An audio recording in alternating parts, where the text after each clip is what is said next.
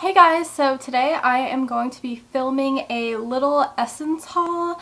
Um, if you don't know, Essence is a European brand that is has like drugstore prices um, and they sell it at Ulta here in the United States. Um, I actually haven't used this brand in forever. It was one of the first brands I used when I was allowed to start wearing makeup. Um, I remember buying like these really cheap like mascaras and blushes and everything when I was like 14 or 15 and I remember them being really good.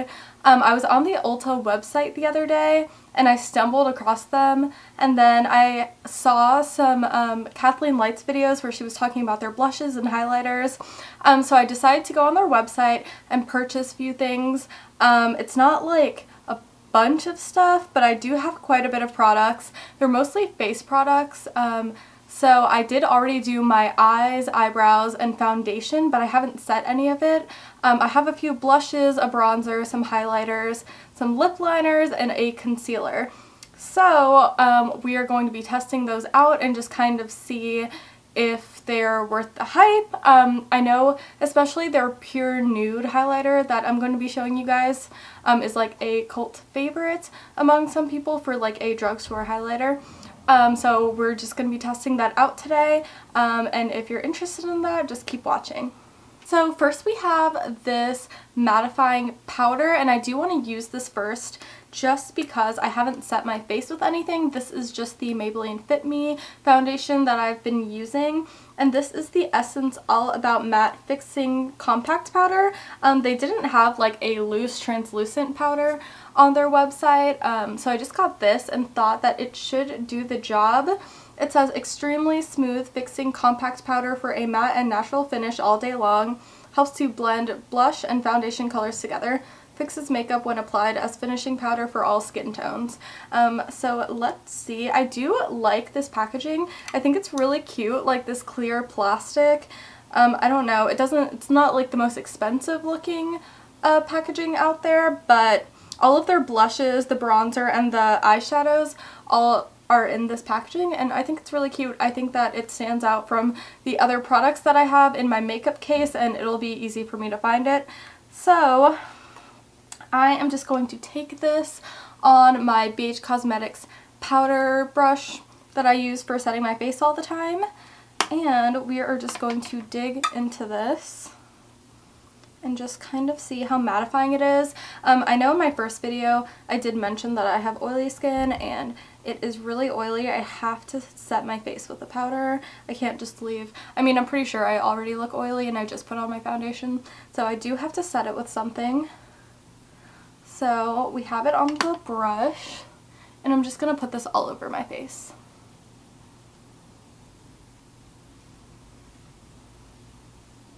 and I can already tell it does kind of have a little bit of a white sheen but I don't think it's that bad. It's kind of similar to my Airspun powder but it does look like it's really mattifying my face. I don't know if you guys can already tell from like my forehead to like this side of my face. It definitely looks less oily for sure.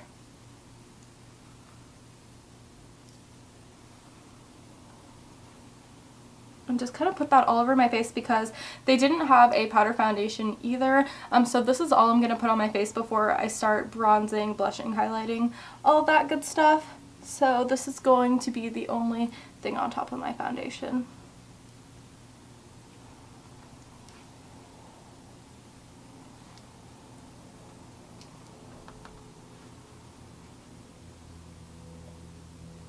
And if you guys are interested in this eye look, um, I used the Anastasia Beverly Hills Modern Renaissance palette and I did use my favorite Sugarpill eyeshadows. This is Flamepoint, Buttercup Cake, and Love Plus. Um, it's kind of like a red, I don't know. I was going for like a primary color kind of like flame look um, because I am going to change my outfit and do like a red outfit look today. Um, so I just wanted to do like dramatic eyes and then the rest of my face kind of subdued. Um, so if you guys would be interested in seeing something like this, I can totally film it. Um, I've been doing this look a lot recently just to like play with my colorful Sugarpill shadows, which are really good and pretty underrated, I think. So I would be happy to do a tutorial with those. Alright, so I think I have this all over my face.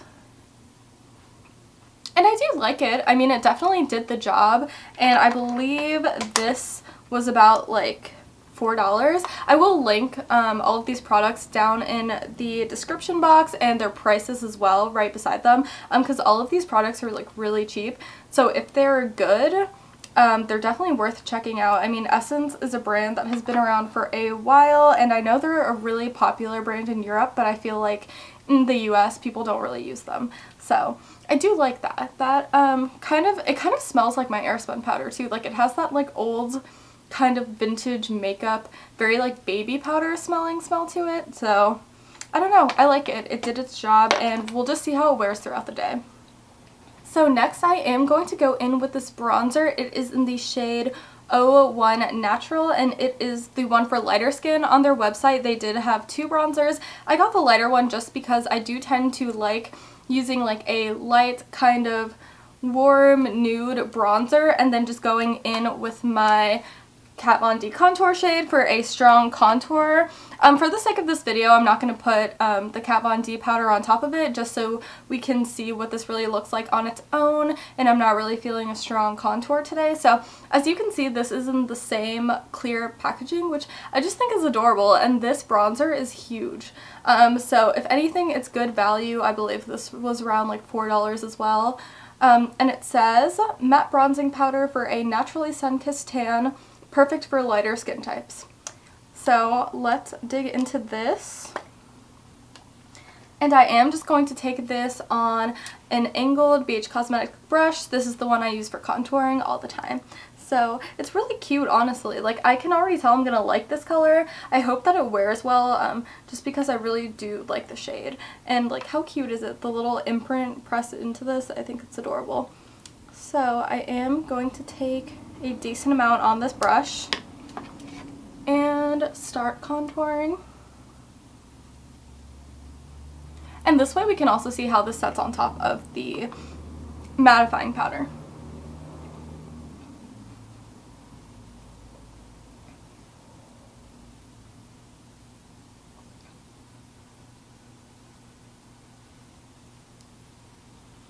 Okay, I really like that you can definitely, it's definitely darker than I thought it was going to be. Which is good because I can use it on its own. I mean, this is the one for lighter skin, so I thought it was going to be like quite pale, like barely showing up, just giving you like a little bit of a natural glow. But you could definitely use this a little to contour, which is good because that's what I'm going to do today. So, and it seems pretty buildable too. Like I'm really digging into this right now to just give me a strong contour. So I actually quite like that. And I think it's going to be even better on top of like a powder foundation and setting powder, everything like that. I think it's going to be even better. So I'm just going to do the same thing on the other side.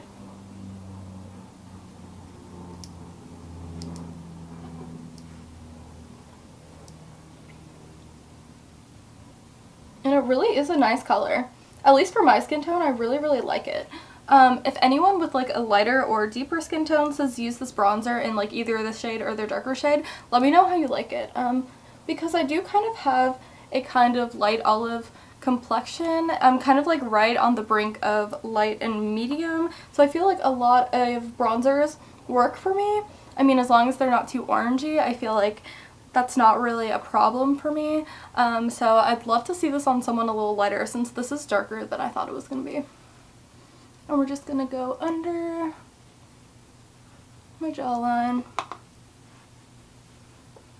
don't know if this is too warm for under the jawline, but we're going to do it anyway. Just since we are testing this out.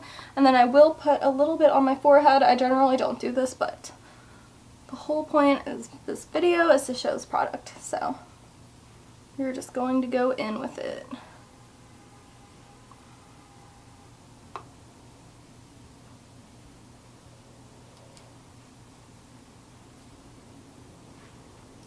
Alright, I am pleasantly surprised. What do you guys think? I don't know. For a kind of drugstore, like really cheap bronzer, I'm really surprised because I'm generally like not happy with drugstore bronzers. I don't know. I do like my more natural um, Rimmel London one. Um, that one's pretty good, but other than that, I feel like they look really muddy on me and they kind of like break up on the skin. This one, I mean, I don't think it's the best bronzer in the world, but I'm definitely going to be using it in the future. I think it's really good, especially, I think it's going to be really good, especially layered um, under this product. So, which is my routine, so.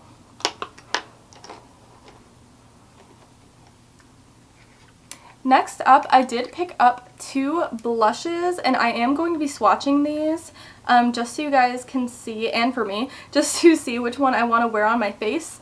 This one is the Essence Mosaic Blush, and this is in the shade 20. All you need is pink. It has soft powder blush composed of three shades for a radiant and fresh finish.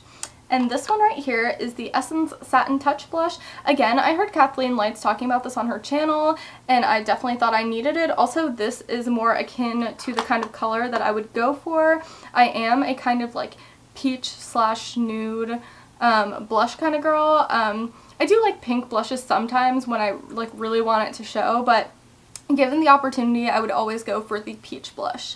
And this is in the shade 10 Satin Coral and it says satin soft blush for a fresh looking complexion all day long. Now I am first going to layer my foundation on my arm and then put a little bit of this Jordana pressed face foundation just because that is how I would wear it on my face and I think it's kind of unfair to swatch something on your bare arm because that's I mean that's not how it would show up on my face um, so I am going to lay that down on my arm first.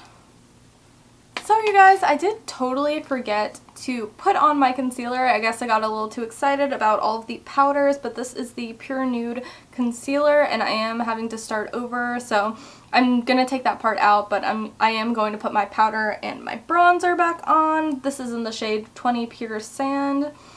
Um, and I definitely thought this was going to be a liquid concealer when I bought it online, but I do like the texture once putting it on my face, so I am just going to blend that out really quickly, and then we will get back to swatching the blushes.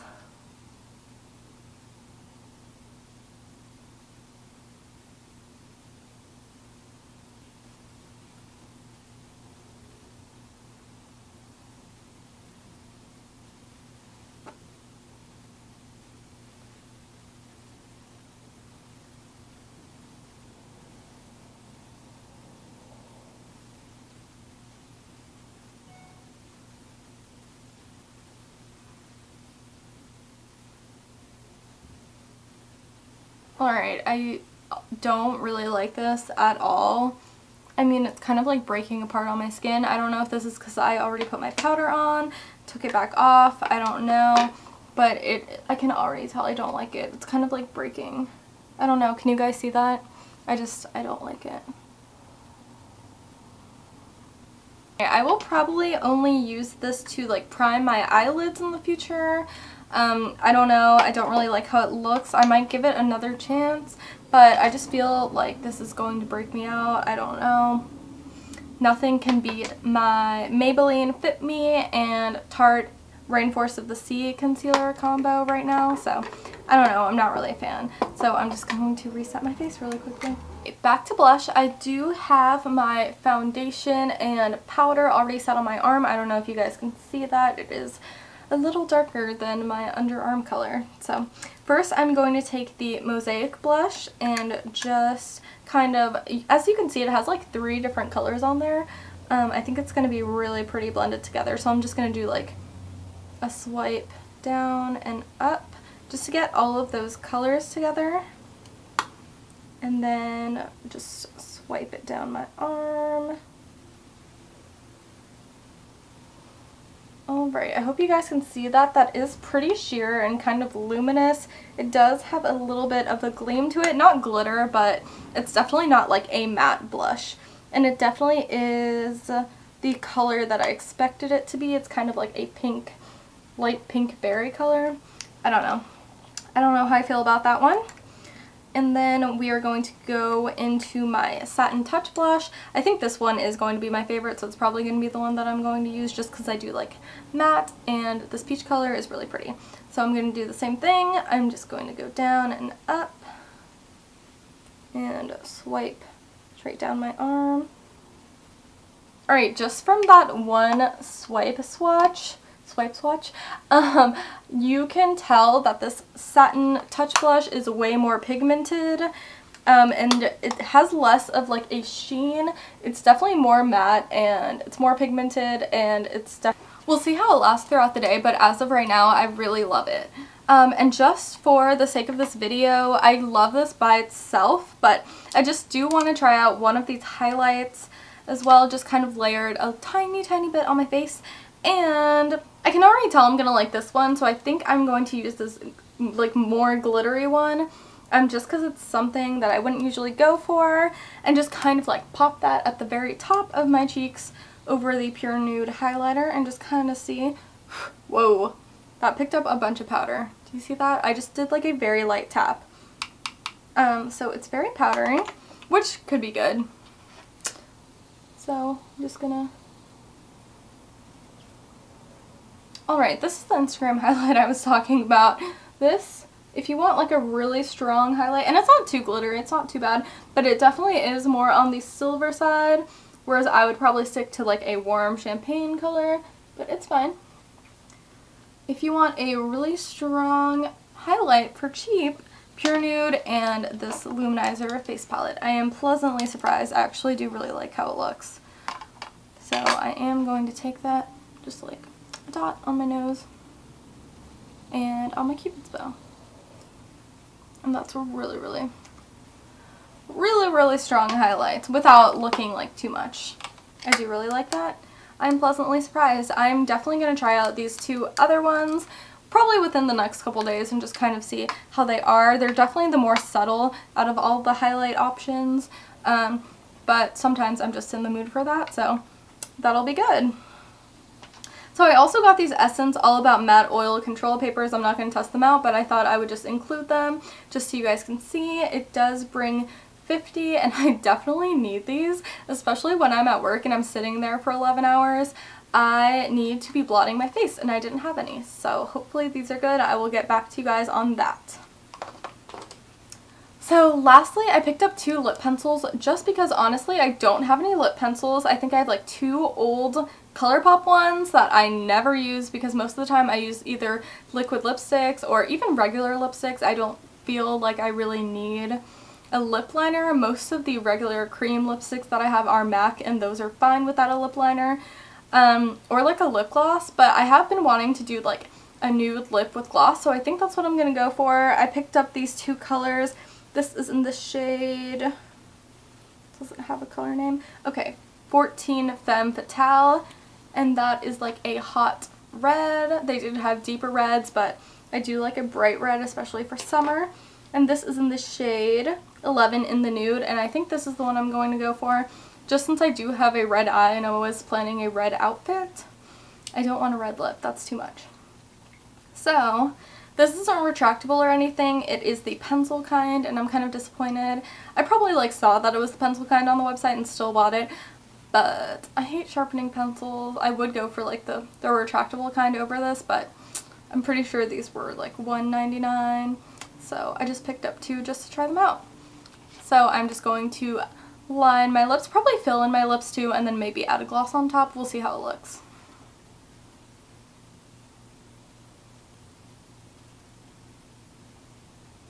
Alright, and already these are really creamy. Um, I wasn't expecting it to be this creamy. Because pencil, another thing with pencil liners, I just feel like they drag a lot. Like I don't think that they're that pigmented. So this seems to be doing the job.